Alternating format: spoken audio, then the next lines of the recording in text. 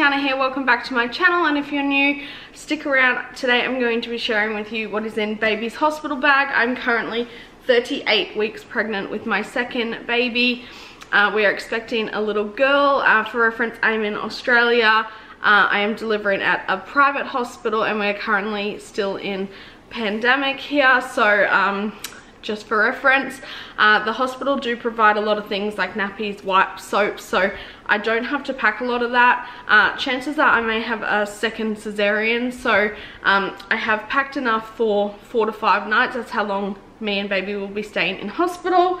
Uh, so I'll just jump in and share with you what I've packed in my hospital bag. For the hospital bag, I've just used uh, our new baby nappy bag. Uh, this is the Milk and Poppy backpack style. I absolutely love it. I searched really high and low to find a bag and from my Instagram, I know you guys want a review, so I will do that very soon. Uh, but today I'm just gonna jump in and share with you what I've packed for her. Um, so there isn't too much. I think I've kept it pretty low key, but we'll see.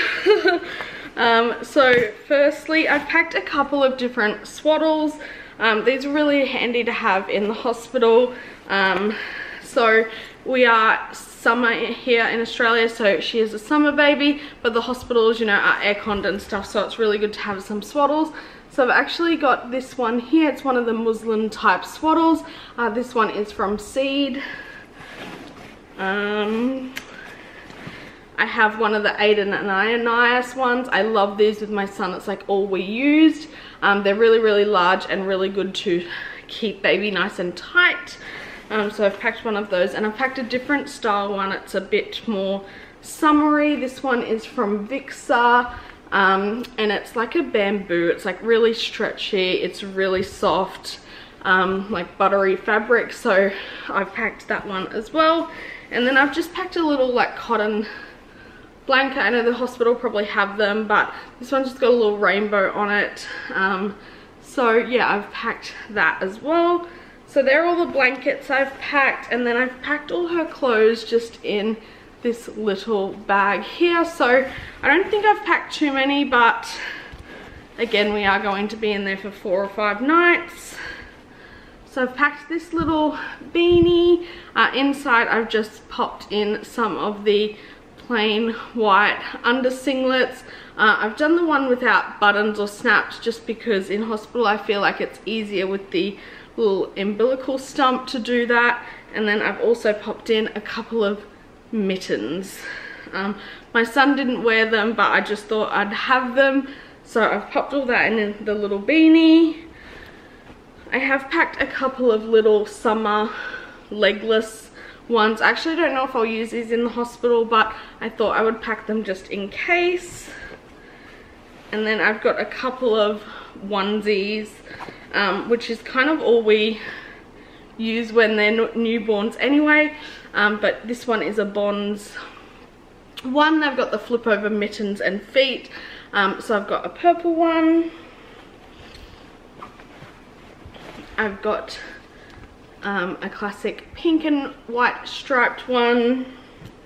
And then I've also got one from Ergo Pouch. Um, these are all in newborn size. Uh, I do have a special little onesie with her name on it so you can't see it just yet but I thought that would be really cute for uh, to announce her name to everyone when she's here. Uh, we've also packed this uh, little cute onesie with rainbows on it. She is our rainbow baby.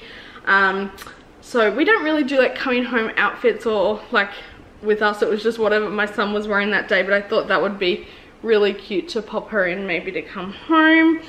Uh, and then I did pack one sleep sack. My son used these a lot and really loved them. Um, but yeah, I wasn't in hospital. It was after a couple of months. So I'm not sure if I'll need it or use it, but I thought I would just pack it. It didn't take up a lot of room. So I've put that in and that's all for clothes. Then I have a couple of little things. One is her name plaque and her little teddy. I took my son's little teddy to the hospital as well. So it's not really to have, I think it's just nice to have something for them there and also makes a cute photo. So I've got that and her name sign in there all ready to go for photos. I did pack a packet of water wipes. As I said, my hospital do provide wipes, but these are just really good to have. My son had really bad eczema, so um, I wanted to get something more natural, but also they're just good for like if I need them, any little vomit spills, to wipe down tables, anything like that. I just thought it'd be handy to have them. I'm not sure if I'll use them, but they are there in case I need them. I will also be taking in uh, a breastfeeding pillow. Um, as I said, I most likely will be having a C-section and holding a pillow against my incision when like coughing or sneezing or getting up really helped and they're really good for feeding as well. So I have packed this. It's similar to like the Boppy. There's heaps of different styles. I got this from Adairs. Actually, they have a heap of cute covers.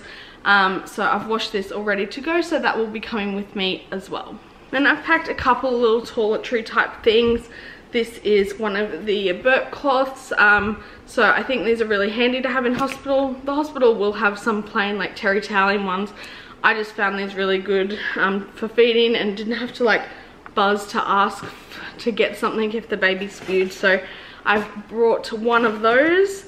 Uh, and then I've bought, yeah, like a couple of toiletries. Um, these are called Little Eyes. They're little eye wipes to get out like gunky stuff. They were just really handy to have, especially on the go. So you didn't need to get like cotton balls and water, which is kind of what they use in hospital. But these are just little wipes that you can wipe out their eyes. Some babies have really gunky eyes after birth and my son did. I've also packed in here just a bottom balm and a nipple balm for me. These are by Willow by the Sea. Um, so I've packed those and I did bring a dummy. Um, my son used a dummy but it certainly was in in the hospital. It was after a couple of weeks. So I'm not sure if we'll need it or use it, but I thought I'd rather have it than not. Um, the hospital restrictions are still kind of funny. So like no one can come and go and grab things. So um, yeah, I thought that would be easier just to pack it. And then I've also just packed a couple of nappies for like in the car on the way home or just just in case we need it. I've packed two nappies as well. Um,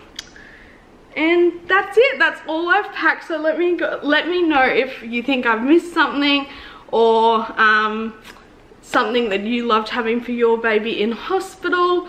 Um, thank you guys so much for watching. I hope you love it.